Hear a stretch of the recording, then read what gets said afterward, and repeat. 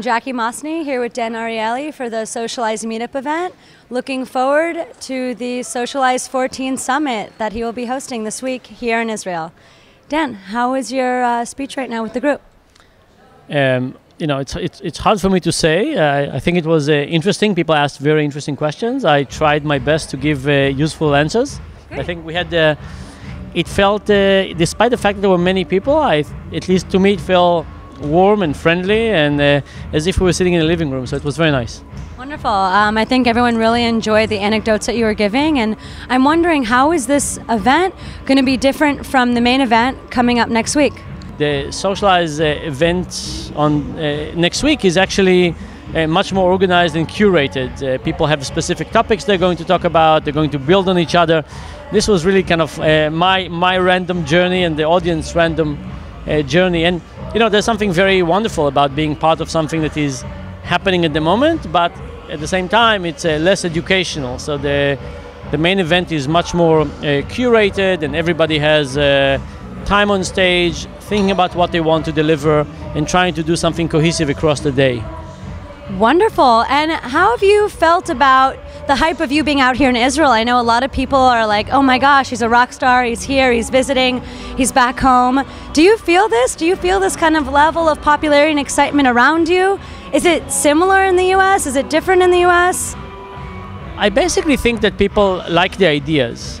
Um, you know, there's lots of wonderful research in social science. Sometimes I talk about my own research, sometimes I talk about other people's ideas, but in general, I think the excitement really is about a, a new type of perspective. I think people are, especially after 2007, 2008, people are kind of uh, unhappy with the standard economic theory, looking for something else, something that could explain what we're doing, and also want some help and figure out the next step. So I don't think it's so much me.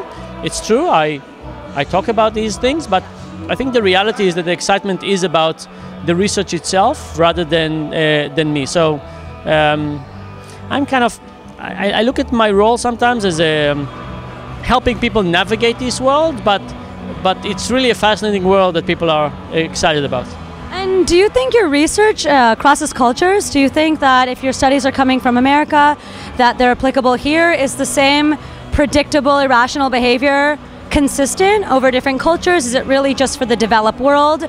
Do you think if you went to parts of Asia or South America or even here in Israel, the same holds true? So, so I think it's a question of uh, the details of the behavior. So if you think about something like visual illusions, we're all the same everywhere.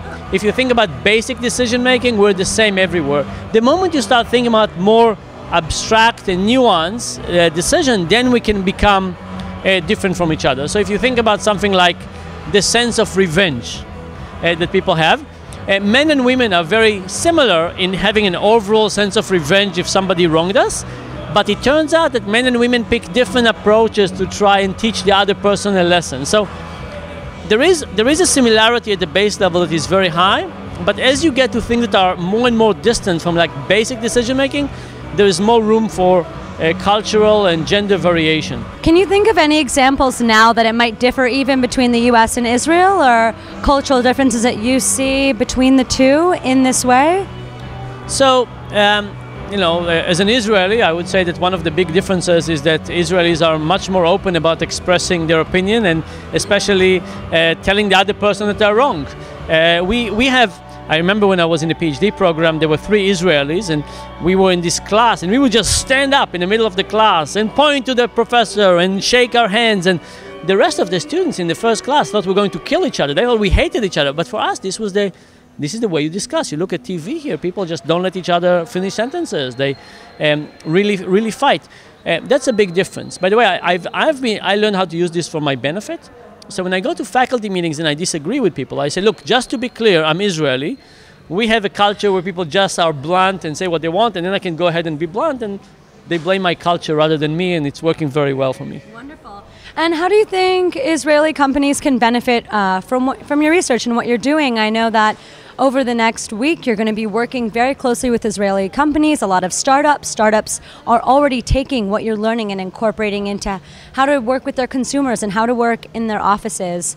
What's a strong example that you've seen, or have people really reached out to you from around the world asking for your help? So uh, th- there's lots of questions. We've been doing this for a long for a long time uh, for both small and large companies. Um, look, if you're designing something like a new type of uh, shatterproof glass or anti-lock brakes, I can't help you. This is not my or new cloud computing. You know, I, I can't help you with that. But if you do something that has to do with human nature, um, you're trying to get people to behave differently, think about it differently. All of a sudden, there's value in understanding what people actually actually do. So I'll give you one example. Um, this is a company uh, that basically uh, tries to get people to sign up to be drivers in particular hours of the day. Uh, so think about something like a car service, and everybody wants to get car service Friday night, Saturday night, but the people who are giving this service want to stay home that night or want to do something themselves. They don't necessarily want to sign up. And, and what we did was we changed the framing of how people sign up. So uh, for example, one, one of the things we did was we showed people how much money they could make on Friday night and how much money they could make not on Friday night. So imagine, for example, on Friday night you could make $50 and on other nights, you, on non-Friday night, you would make $30 per hour. One way to show it is to say 50 versus 30. Another way to show it is to say compared to the average. If the average is 40, now this is 10 plus and this is 10 minus. We've played with all kinds of techniques to try and get people to think very carefully about the desirability of the high likelihood hour. It turns out that this approach of saying plus 10, minus 10 was incredibly effective because it shows you that there's a gap and it uses loss aversion as a principle, and people do sign up in a better way to get services. So there's lots of examples like this when you say you want to get people to behave in a different way, but what do you really understand about motivation of human behavior. If you understand them better, you might be able to apply your levers in a more effective way. Great. And um, back to the Socialize event, I'm wondering why Socialize? Why do you decide to pair up with them? What, I guess, is your incentive on this? And how do you think the community is going to feel about it with you coming here and sharing your knowledge? I know tonight was a packed night, and that should give a good clue. So, so I think that uh, you know Keren did a, a great job uh, creating this organization. I think it is, has a a wonderful mission. Uh, I think the events are well organized and executed, and I think people are learning a lot in a very short time. Um, you know, I, I, would like everybody to take more classes at the university, but I understand this is incredibly impractical. So the question is, uh, what? How do you go around uh, the academic life, and how do you pick the things that you think are relevant uh, for those people? And that's what uh, Keren is doing as a curator uh, of these events. And I think it's incredibly valuable to go for one day and get.